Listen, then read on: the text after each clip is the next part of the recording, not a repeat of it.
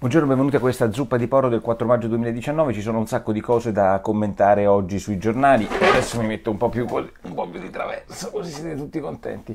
Ci sono un sacco di cose da commentare sui giornali e lo faremo. Intanto la sfida finale su Siri. Obiettivamente io non posso credere che questo governo, che ne ha passate di tutti i colori, possa cadere per un sottosegretario ai trasporti. Però ehm, i giornali sono su questo tono. Addirittura la stampa è quella che si porta più avanti di tutti rispetto agli altri. Infatti dice dice, secondo un retroscena della stampa, buongiorno Alessandro, Rita, che siete in collegamento, dici se Siri non si dimette sono pronto a dimettermi, dice Conte. Questo è un retroscena della stampa che è tutto da vedere, vedremo se eh, nelle prossime ore, anzi dovrebbe essere secondo il retroscena martedì o mercoledì in redazione. Prima però ci sarà questa specie di Vietnam di dichiarazioni. La procedura del revoca del sottosegretario, la spiega, è un pezzo lunghissimo, però per una volta piuttosto interessante nel fondo dell'avvenire. Quando l'avvenire fa il giornale non il giornale inteso da informazioni e non sembra il manifesto dei cattolici, manifesto inteso di partito, quotidiano del Partito Comunista è anche interessante. E il Quirinale si prepara ad elezioni a settembre, dicono alcuni retrosceni. Io anche su questo non ci posso credere.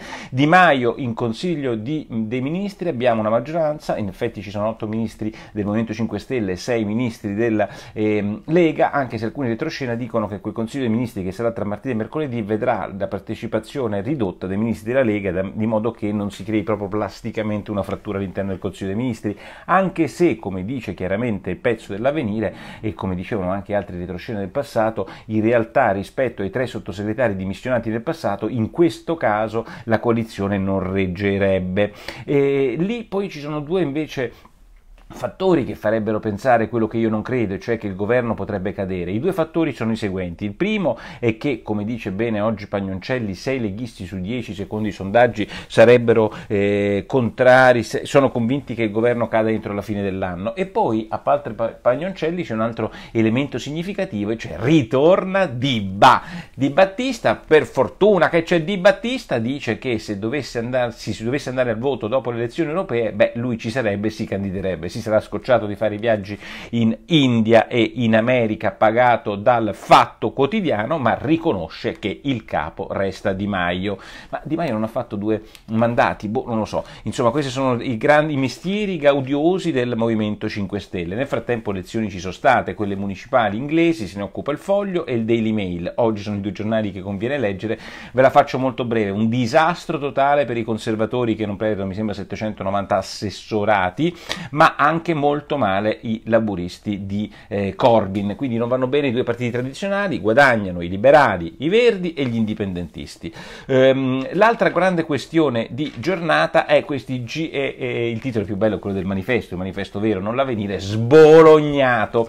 Sostanzialmente i giudici di Bologna e prima di loro quelli di Firenze, come ricorda Maurizio Belpietro oggi sulla verità, decidono di eh, iscrivere all'anagrafe anche i richiedenti asilo, cosa che il decreto sicurezza di Salvini non prevede. È il solito diciamo, scontro tra magistrati e politica che è avvenuto praticamente negli ultimi eh, so, 40-50 anni di questa storia, ma anche, anche di più forse. Qualcuno oggi, eh, forse Sallusti, evocava quella frase di Togliatti, che non so se fosse veramente Togliatti, ma se lo dice Sallusti così è, che le leggi per gli amici eh, si interpretano e per i nemici invece si applicano e questo varrebbe sui giudici diciamo di Bologna e di Firenze diverse che sono chiaramente di magistratura democratica e che non vedono di buon occhio la politica di immigrazione eh, adottata da Salvini. Eh, e ovviamente questo sarà un grande tema di giornata.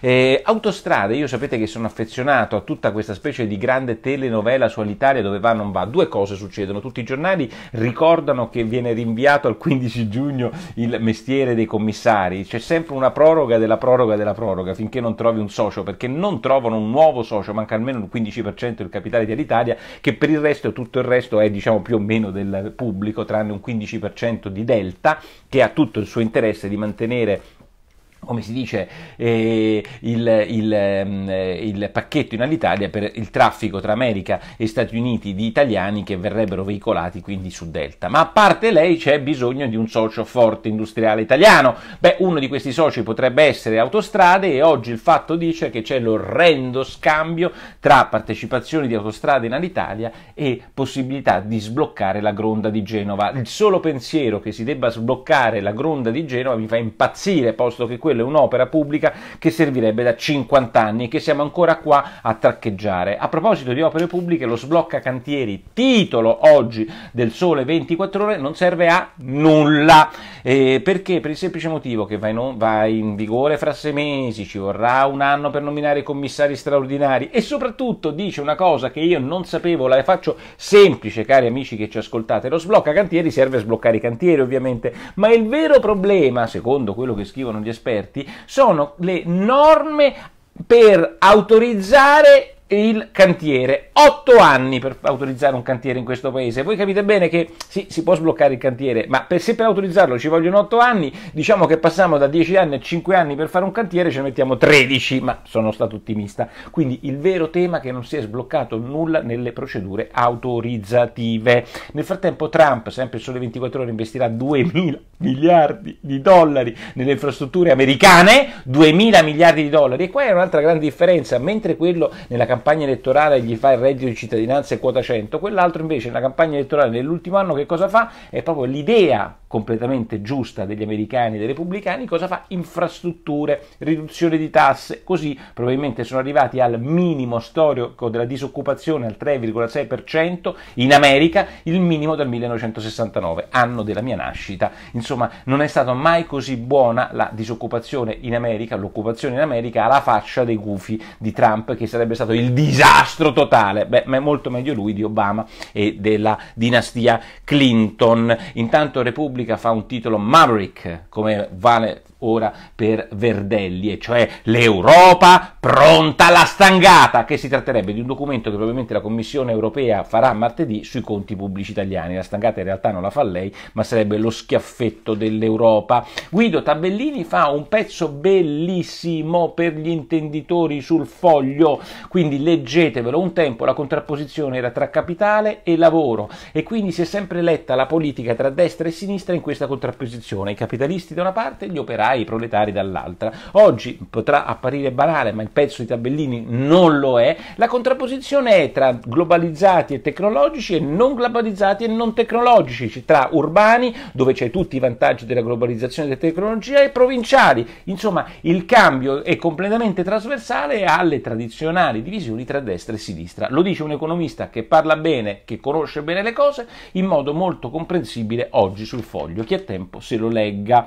Il popolo americano non è mica scemo, se ne frega dei radical chic, dice Susanna. Beh, vai a vivere un po' a New York e forse qualche idea in merito ce l'hai. E vi consiglio di leggere, andate sul mio sito a leggere Varanelli, c'è un bottone sotto ospiti con scritto Varanelli e andate a leggere quello che dice Varanelli della incapacità totale di alcuni americani di ragionare.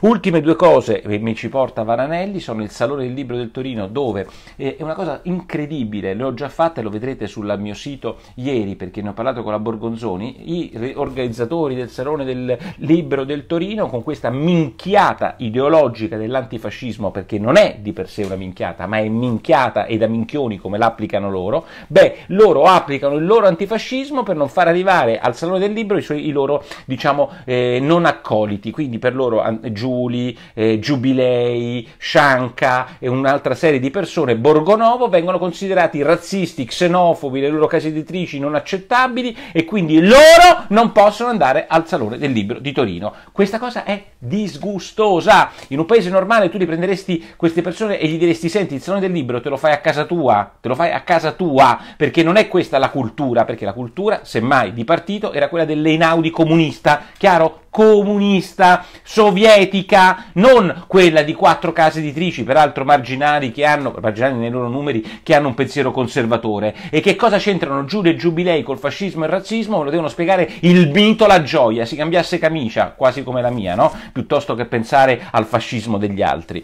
La Murgia, ritratta oggi da Perna sulla verità, è come sempre un capolavoro di Perna, perché Perna scrive divinamente e la pensa. Ehm, in maniera originale rispetto al pensiero comuno, comune. Scusate, Gerardo, Giuseppe, e Anna e Giovanna, vi vedo tutti quanti in, in, in collegamento eh, sia su Instagram sia su Facebook. A entrambi, a tutti voi, vi faccio il saluto e vi dico che in, nel pomeriggio ci saranno tanti altri pezzi eh, sul sito nicolaporro.it. Noi abbiamo lunedì chi paga il sonno del libro di Torino. Nanni, ne ho chiesto ieri la Borgonzoni, vedrete come mi risponde sul sito.